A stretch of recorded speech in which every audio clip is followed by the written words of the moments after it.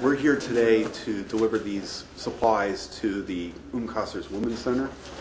Um, I took up collections from churches back at home and churches in New Jersey, partnered together to bring school supplies, some toys, sewing materials, um, and hygiene items, personal hygiene items for this center.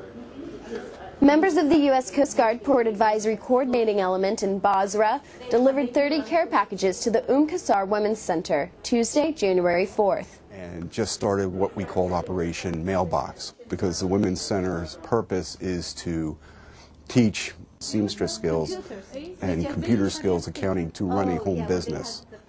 The Coast Guard hopes to continue this humanitarian mission throughout the year. What we would like to do is try to visit the Women's Center once or twice a month in uh, coordination with our other missions that we have going on in the port to deliver these goods. You know, being in New Orleans post Katrina, we really uh, appreciated the support and help and assistance and the outpouring of love that we did receive from all over the country. And that is something that we uh, try to uh, foster anywhere the Coast Guard is stationed uh, to be humanitarians that uh, provide support for the community and for the country at large.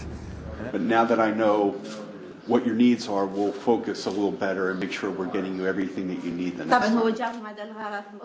Reporting for USD South, this is Sergeant Katherine Danielson, Basra.